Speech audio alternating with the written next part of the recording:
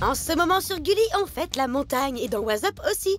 On file donc découvrir ce drôle d'engin baptisé Trikoski que l'on pourrait traduire par trottinette des neiges. Bon, du coup, vous voyez le mélange qui a été fait. Hein. Les inventeurs ont placé un guidon pour les mains, ce qu'ils appellent une spatule sous chaque pied, et le tout glisse sur les pistes. Tout ça a été inventé dans les années 2000 aux États-Unis et le but est de faciliter les descentes pour ceux qui savent moins bien skier. En effet, ils ont un meilleur contrôle de la vitesse et de la trajectoire. Quant aux chutes, elles sont moins, mais alors beaucoup moins fréquentes. Attention tout de même, ce n'est pas parce que c'est plus facile à utiliser qu'on ne met pas les protections habituelles. Bon alors, ça vous tente? Sachez que ce sport devient de plus en plus tendance dans le monde entier et que de nombreuses stations de ski proposent de louer ces engins. Allez, WhatsApp, c'est terminé pour aujourd'hui. On se retrouve demain, même heure, même chaîne, ou dès maintenant hein, sur gully.fr si vous souhaitez nous envoyer un message ou découvrir plein de bonus de l'émission. Bye bye